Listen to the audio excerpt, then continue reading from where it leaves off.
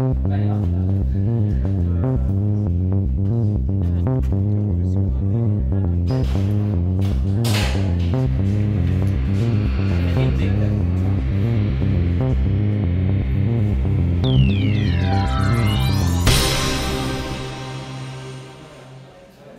is 17 jaar.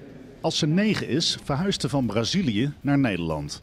Nu is ze terug in haar geboorteland en bezoekt ze met een groep Nederlandse pelgrims de gevangenis van Campo Belo. Dit is geen gewone gevangenis. Dit is een van de 130 APAC-gevangenissen in Brazilië. Dat staat voor Association for the Protection and Assistance of the Convicted. Gevangenen worden er recuperandos genoemd, mensen in een proces van herstel, zowel emotioneel, psychologisch, sociaal en spiritueel.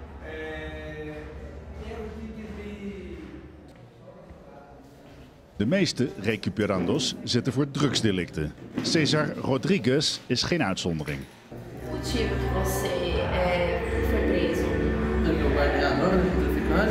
Aí os vizinhos lá, acho que observaram a movimentação da minha casa, denunciou a polícia.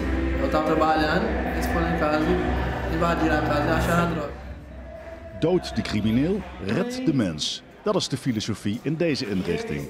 Wie hier in deze cel terechtkomt, zit vaak eerst, net als de naar schatting half miljoen gedetineerden in Brazilië, in een gewone gevangenis. Pequena para seis pessoas, no máximo 10, cara. Seis é quatro no chão, que dá um colchão no chão. Uh, er past in totaal in zo'n cel uh, minder dan 10, maar ze waren met z'n 17.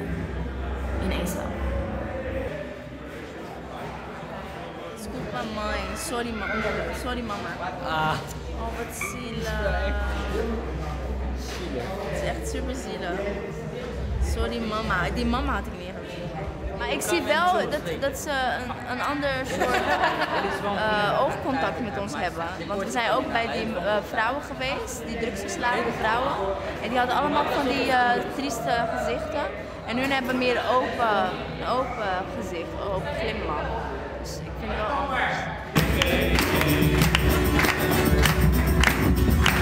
Cesar Rodrigues zat eerst vijf maanden in een gewone gevangenis. Hij is nu drie maanden in de inrichting in Campo Belo. Zijn straf van in totaal twee jaar hoopt hij deels vrij rond te lopen.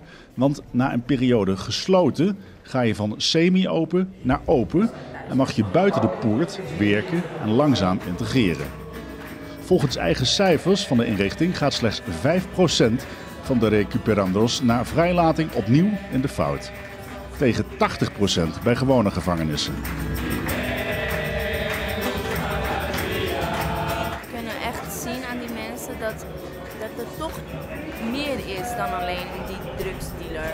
Dat, er, er meer, dat, hij meer is dan een arme ziel die hier maar is en eh, die uh, zo meteen vrijkomt.